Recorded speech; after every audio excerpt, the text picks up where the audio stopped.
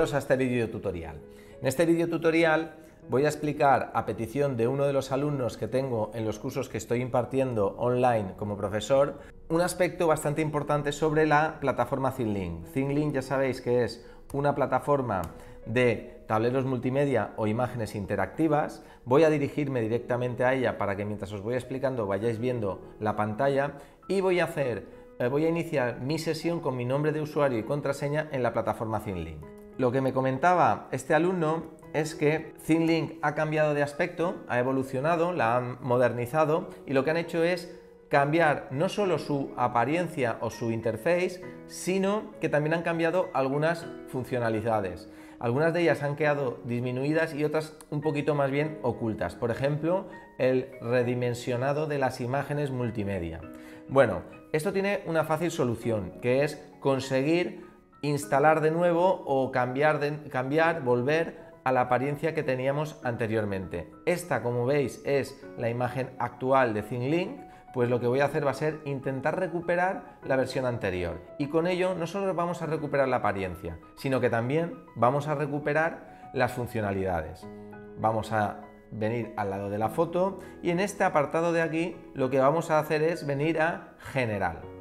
Y en esta parte de este apartado vemos que pone interfaz, la versión Saima 2020, esa es eh, la apariencia, la última apariencia que ha sido instalada o que ha mostrado eh, ThinkLink en su plataforma y es la actual, lo que vamos a hacer va a ser cambiarla a la anterior y vamos a volver a Ruobesi 2017. Vamos a darle a guardar y ThinkLink va a cambiar la apariencia automáticamente. Realmente, para apreciar esta apariencia, lo que hay que hacer es volver al menú inicial. Y aquí sí que vemos que la apariencia ha vuelto a la antigua. Esto tiene una serie de ventajas, sobre todo cuando aún no estás familiarizado con la nueva eh, apariencia, pues a veces nos cuesta encontrar cosas. Y aquí lo que podemos hacer fácilmente es lo que hacíamos con esta versión, que es por ejemplo, obtener el código para redimensionar esta imagen.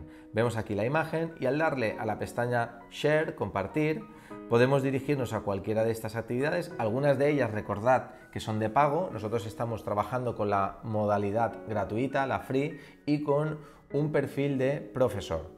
Pues aquí vamos a recortar y copiar este código, perfecto, pero si lo que queremos es redimensionar la imagen, lo único que hay que hacer es añadir aquí, en este apartado de aquí, altura y anchura, cambiando estos números. Vamos a copiar el código, perdón, y lo que vamos a hacer va a ser llevarlo a un documento Word, ¿vale? Por ejemplo, o a cualquier editor de textos.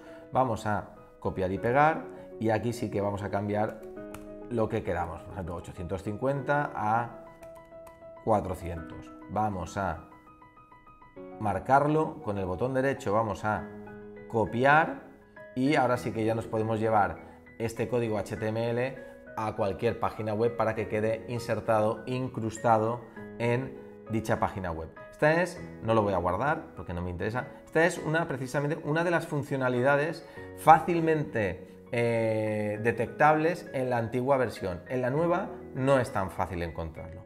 Bueno, ya hemos visto cómo cambiar de la versión eh, moderna a la antigua, vamos a hacer el proceso inverso. Lo que vamos a hacer va a ser volver al menú inicial y nuevamente en nuestro perfil vamos a ir a Account Settings, la, configuración de la cuenta. Y en este apartado de aquí, simplemente donde pone Interface Settings, vamos a volver al Saima Interface. Vamos a salvar esos cambios y vamos a volver al menú inicial para ver que ya estamos en la versión moderna. Esta versión moderna tiene una peculiaridad, mm, la cual os quiero comentar antes de despedirme del vídeo tutorial. Es muy simple, es muy sencilla. Cuando vais a ajustes del perfil y le dais a editor, os permite eh, habilitar o deshabilitar el editor delegado. Eh, ese editor mantiene una serie de características que también las mantenía en las versiones anteriores. Vamos a habilitar ese editor y aquí podéis escoger, por ejemplo, mostrar el icono de compartir en todas las imágenes. Pues si lo deshabilitas o lo habilitas. Mostrar el icono táctil en todas mis imágenes. Y lo mismo, y tú puedes ir eh, eligiendo cada opción y dejar esas elecciones predeterminadas y configuradas en tu cuenta de usuario. En este caso voy a deshabilitarlo y voy a fiarme del editor actual de ThinkLink. Recordad que yendo en, este apartado de aquí, en el apartado general, es donde podéis cambiar, dándole aquí, a el interfaz, a la apariencia y recuperar con ello las funcionalidades. Pues nada, espero que os haya sido útil, he intentado hacer el, el video tutorial lo antes posible y, de, y también lo más sencillo y rápido posible.